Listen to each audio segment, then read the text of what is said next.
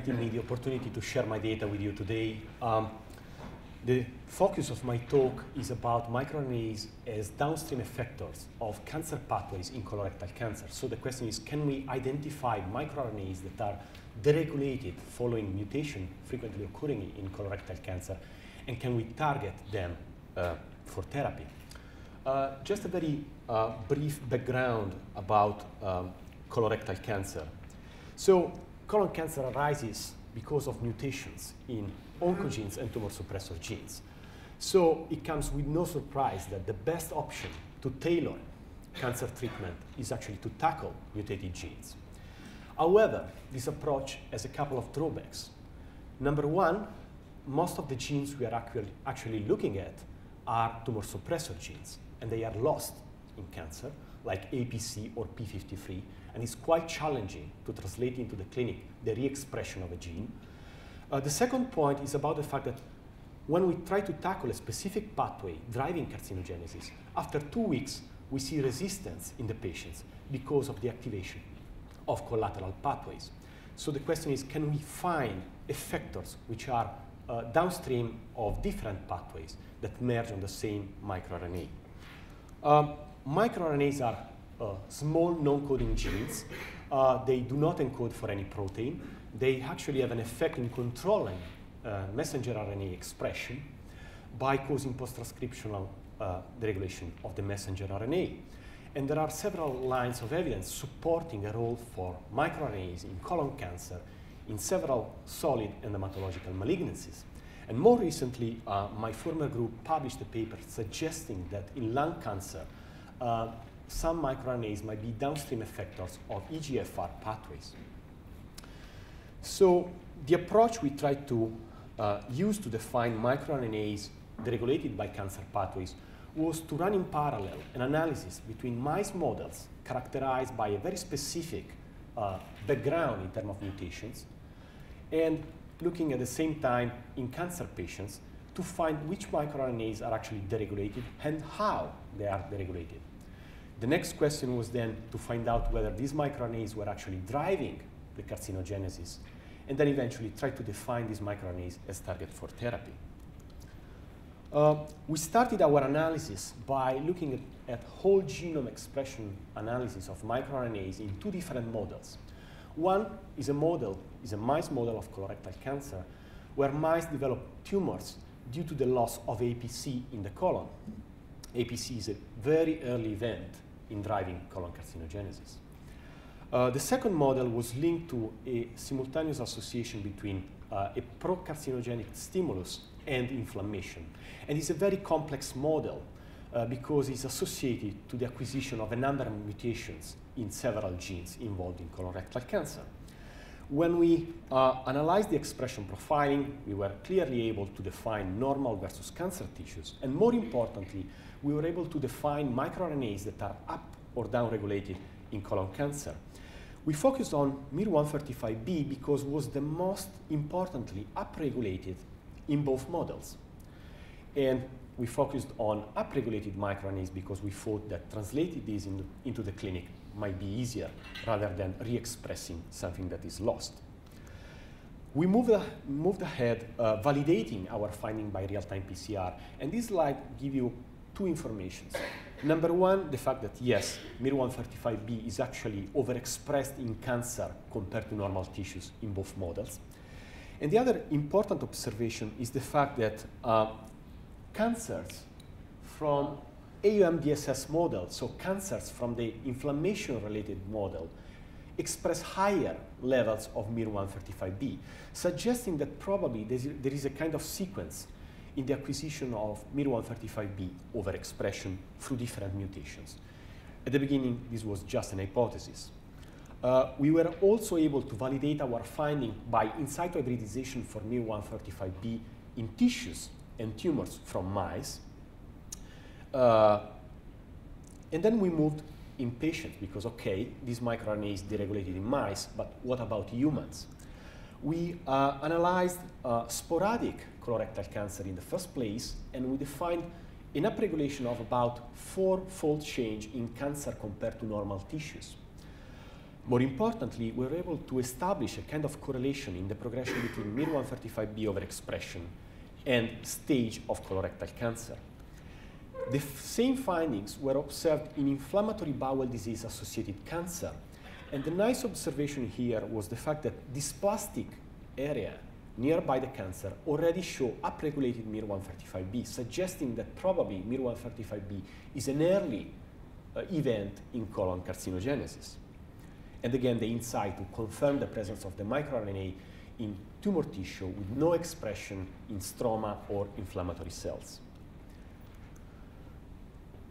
What about survival? Well, uh, we have limited data. We are now try trying to validate this data in larger cohort, but basically, high MIR135B overexpression was associated to poor survival. It failed to prove a, a, a correlation with survival in stage 2 colorectal cancer, which, has, which are those cancers where we would need more biomarkers actually. But we are now validating this analysis on a clinical trial in Glasgow, so we hope we might be able to validate the findings. Um, so, okay, this MIR135B is upregulated in cancer, in mice and humans. Is that just a bystander event that might be useful as a biomarker? Or is also involved in promoting cancer progression? Well, this is a very long story that might take 40 minutes to explain, and I try to summarize it in a very simple slide.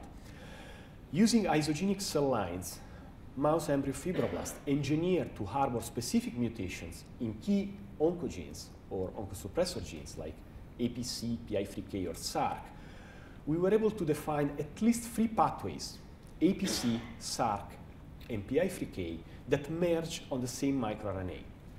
More importantly, when we modulate the expression of the microRNA in vivo and ex vivo on spheres isolated from the bowel of the mice harboring specific mutation, we were able to observe an effect in proliferation in terms of increased proliferation, reduced apoptosis, increased invasion.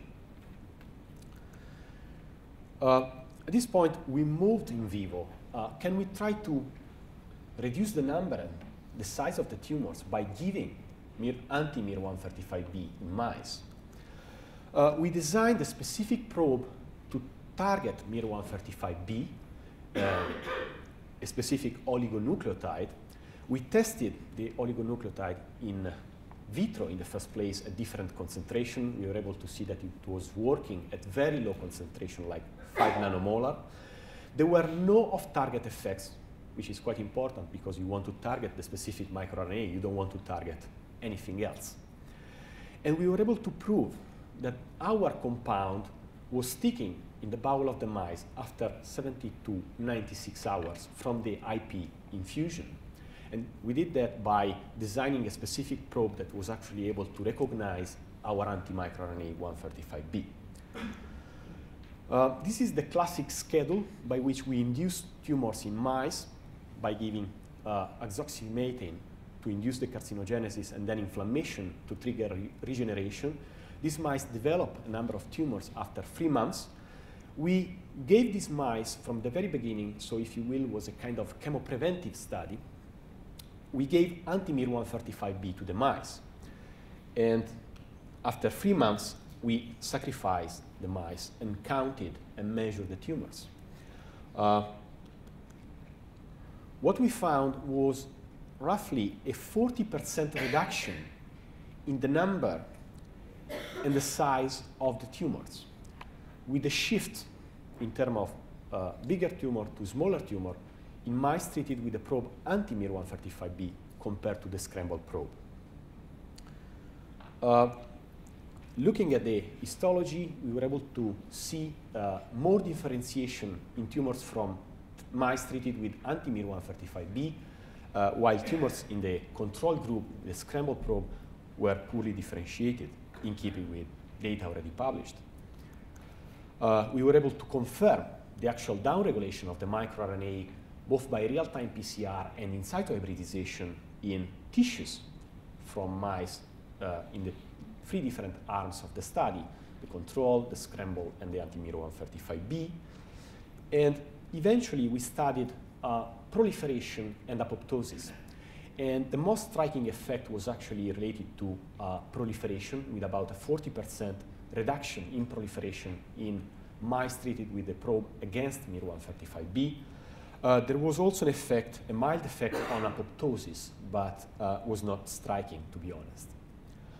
Uh, we then defined mechanisms by which MIR135B uh, actually work. So we infected uh, cells, normal epithelial cell lines from the colon with MIR135B, and we ran a, an array to look at genes deregulated or affected by the MIR. And we were able to actually uh, define at least four genes. We are still working on more targets, actually, because that's the uh, peculiar thing about microRNA. A single microRNA can actually affect dozens or hundreds of genes. So we are still working on more genes, but we were already able to define at least three, four genes that are involved in apoptosis, proliferation, and invasion. Uh, we validated the direct interaction between the microRNA and the target gene by a number of luciferase experiments and Western blot. We also ran a number of functional experiments looking at single genes and rescue experiment, but I think I don't have time to show them today. So in conclusion, we proved that MIR135B is overexpressed in cancer, both in mice and in humans. It's not just a bystander event that we might use as a biomarker, it's actually driving the colon carcinogenesis. By targeting this microRNA, uh, we can achieve uh, a reduction in the number and the size of the tumors in mice. Uh, I will stop here. I just want to thank all the collaborators in the study, some in the UK. Actually, I forgot to mention my Italian colleagues and most of them in the States.